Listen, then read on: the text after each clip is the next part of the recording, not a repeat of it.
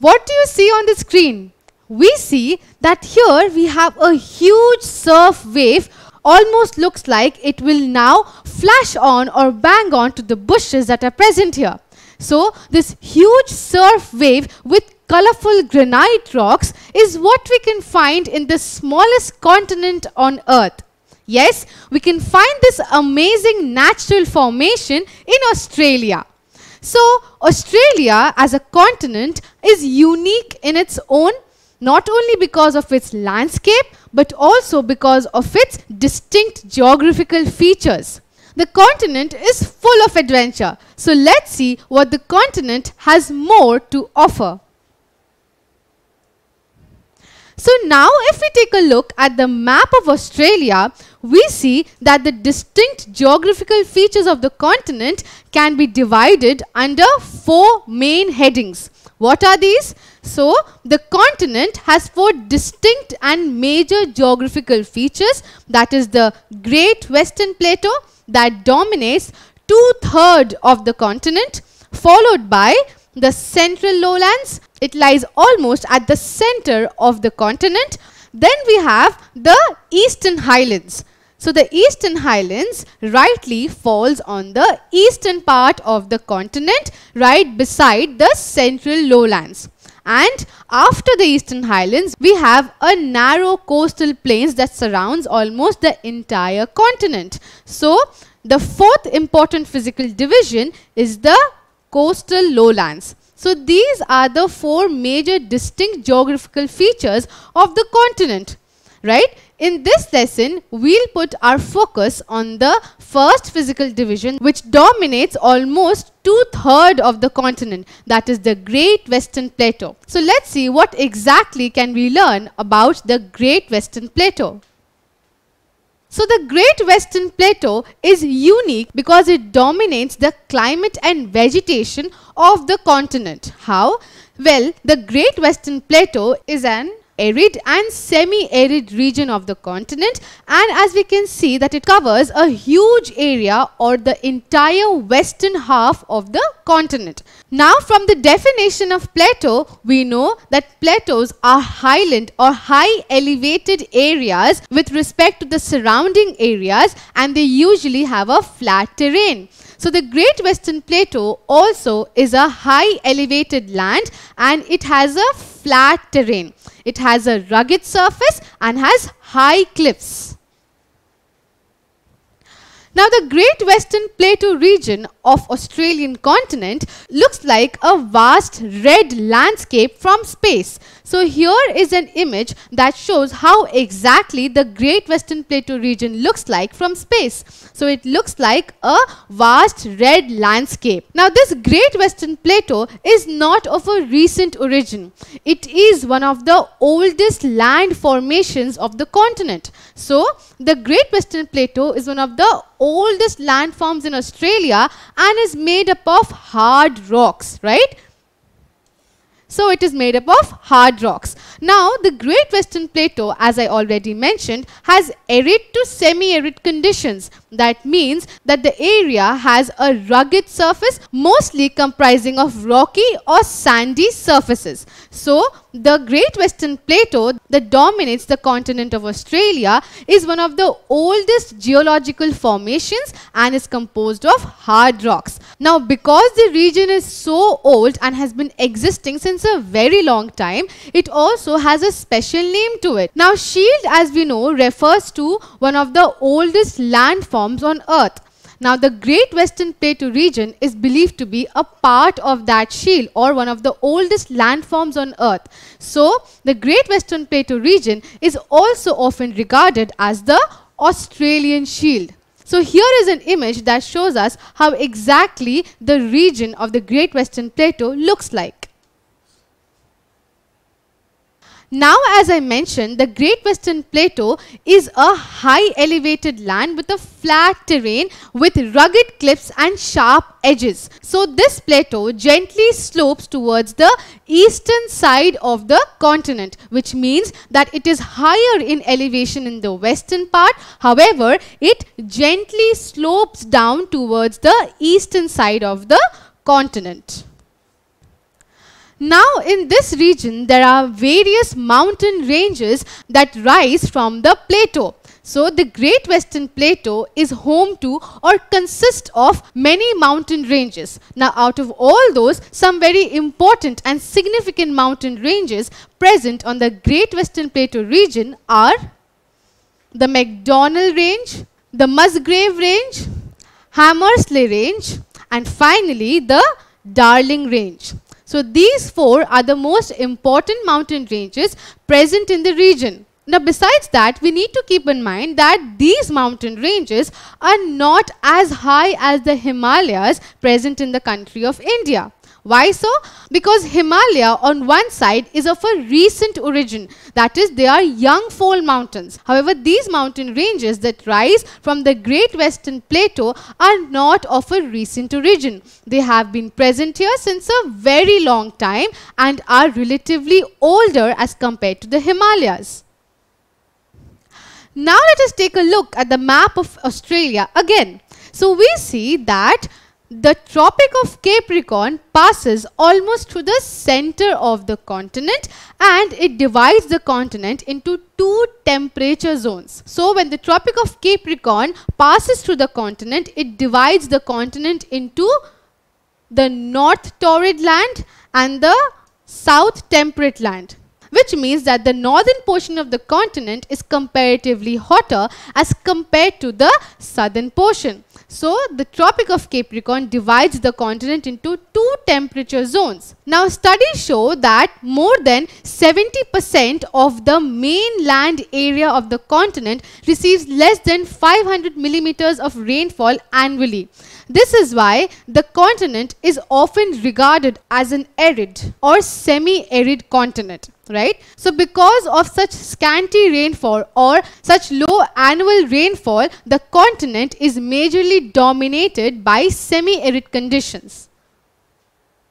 Now because of that very reason, much of the interior of the Great Western Plateau region comprises of hot deserts. So the interior of the Great Western Plateau region consists of hot deserts. And what are these deserts? Well, we have the Great Sandy Desert, the Gibson Desert and the Great Victoria Desert. So these are the three major deserts that dominates the Plateau region. So here are images of the two important deserts of the region that is the Gibson Desert and the Great Victoria Desert. Now these deserts receive very less rainfall and the vegetation is very very sparse. The vegetation that can be found more commonly here are thorny bushes and scrubs. Other than that, we see that the surface of the deserts are mostly rocky and sandy. Now, almost all types or species of eucalyptus trees are native to Australia. So, eucalyptus trees are found mostly along the margins of the deserts. Studies and research tells us that three quarters of the Australian forest is mostly eucalypt forest. That means that eucalyptus is one of the most dominant vegetation of the continent. Now out of all the species, the most commonly found species of eucalyptus found particularly along the margins of the deserts are mallee. So, mallee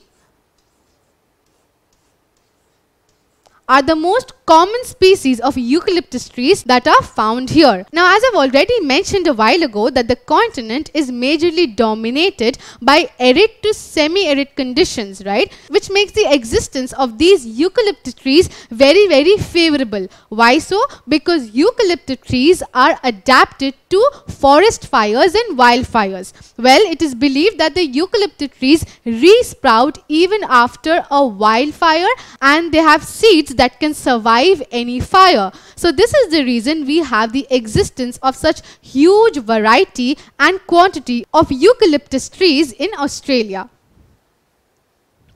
Now besides that unique vegetation, the deserts are home to camels. Now camels is often regarded as synonymous to deserts but in Australia the case is not the same. In Australia camels were not present from the very beginning. They were brought down by the British to cross the huge vast deserts. Now the common norm or the common form of travelling is used by planes and helicopters and these camels are not as much used as in earlier times.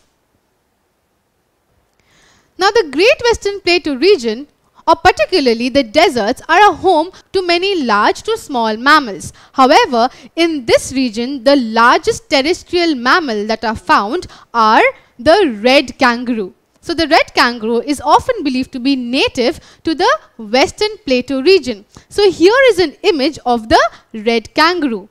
Now it is believed that these kangaroos are mostly active during the dusk and dawn time when the temperatures are much cooler. So then they are more active and go out in the search of food. Now other than that, since they are mostly active during dusk and dawn time, they are often regarded or categorized as crepuscular animals.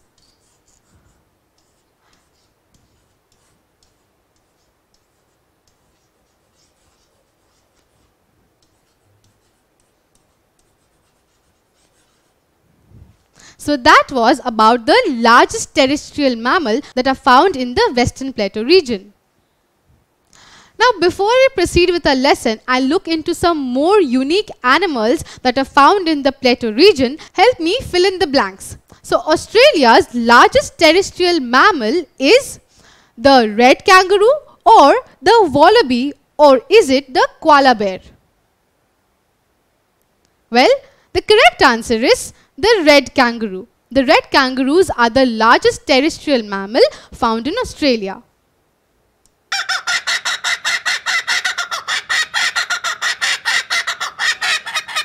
So that was a kookaburra. How enthusiastic was he? Now the Great Western Plateau region though is home to various birds and mammals, it is also home to one of the native birds of Australia that is the kookaburra. Now the kookaburra as we can see on the image is a beautiful little bird and is known or famous for its distinctive laugh. So known for their distinctive laugh, the kookaburra are native to Australia and are mostly found in the Western Plateau region.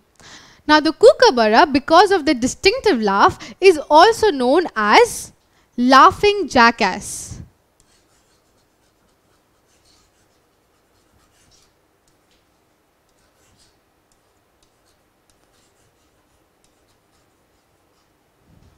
Now another interesting fact about the kookaburra is that the signature sound of the kookaburra is, is often taken as a cue for the Australian radio to start its broadcast. So the kookaburra definitely is a bird of high value and importance. Now, though the Great Western Plateau region is home to so many birds, animals and a unique vegetation, it also is unfortunately prone to a lot of bushfires and wildfires. So, have you heard of the Black Saturday? Well, the Black Saturday is regarded as one of the worst natural disasters of the continent of Australia. What exactly happened during this time? Well, the Black Saturday bushfire took place on February 2007 particularly between 7th Feb to 14th Feb and is regarded as one of the worst natural disasters in Australian history. So in this, there were around 400 individual bushfires only in the Australian state of Victoria. So Victoria was majorly affected because of this bushfire and there were other regions of Australia that were also affected by this bushfire. It is believed that around 4,500 square kilometers of land was destroyed because of this fire.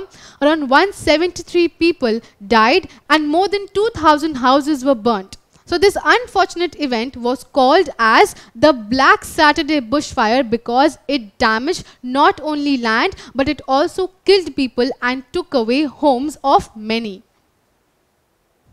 So forest fires are one of the most common unfortunate events that occurs in Australia. The Great Western Plateau region that is home to such huge variety of animals and unique vegetation but they are majorly damaged and are under huge threat because of such frequent forest fires that occurs in the continent of Australia. Now the Great Western Plateau region is also known or famous for its unique geological formations that is the billabongs. Now billabongs are very unique to this plateau region. Now these billabongs are not only a huge tourist attraction but are also a sacred place for the aboriginals of Australia or the native people of Australia. It has a unique landscape of its own and it is also known for its good fishing grounds. Now what exactly are billabongs? Well, billabongs are just another name or Australian name for oxbow lakes. Now how are these oxbow lakes formed? Well, when the rivers change course or when the meanders tend to break away from the main river or stream. So here is a demonstration of the same where we can see that deposition and erosion eventually leads to the cutting off of the meander of a particular river or stream. So when this meander gets cut off from the main river or stream because of continuous deposition and erosion, it leads to the formation of a geological formation that is a oxbow lake. A similar thing exists in the western plateau region of Australia where we have many billabongs or oxbow lakes. So when the meanders break away from main river, it results into the formation of oxbow lakes and these are known as billabongs in Australia. So here is an image of a billabong where we can see that this particular meander has been cut off from the main river. Now though they are cut off from the surface, the water in the billabongs are still linked with the main river in the underground. So these billabongs are seasonally filled by different forms of precipitation and are linked to the main river in the underground. Now the harsh climatic conditions of the western plateau region makes it an ideal location for military training. So military training in hot and arid region of Australia, particularly the Western Plateau region, becomes very very ideal as these harsh climatic conditions stands perfect to test the endurance and ability of the soldiers that are held here. Besides being a good ground for military training, the Western Plateau region is also rich in many mineral resources. Now, these mineral resources mostly include iron ore, gold, uranium, lead, copper, nickel and zinc. So these are the main mineral resources that are found in the Western Plateau region. So to extract these minerals, some of the most important mining activities here are iron ore mining and uranium mining. Other than that, we also find huge gold deposits here so this region definitely has a lot to offer not only because of its unique geological formations, not only because it is a good ground for military training, but is also rich in such important mineral resources. So in this lesson, we were able to understand that the continent of Australia can be divided under four major geological categories. That is the Western Plateau region, the Central Lowlands, the Eastern Highlands and the coastal lowlands. In this lesson, we learnt in details about the Western Plateau region that dominates the continent of Australia. It covers almost two-thirds of the land area and is home to many animals, birds, hot deserts, unique geological formations like billabongs and are rich in mineral resources and are good grounds for military training. In next lesson, we learn about the central lowlands of Australia and see how fertile these lands are being home to some of the most important river systems of the continent. Don't forget to subscribe to our channel and hit the bell icon. You can also register for free at deltastep.com or download the DeltaStep app to learn one-to-one -one with our amazing teachers or to get access to all our 5000 plus amazing videos as per your school syllabus. Master each topic with our adaptive practice technology. Get million plus questions with step-by-step -step solutions and unlimited mock test. Get all your doubts resolved instantly. Learn via games and win amazing prizes like PlayStations and iPads. So at DeltaStep, learning is not just fun and easy, it is rewarding too. So register for free now.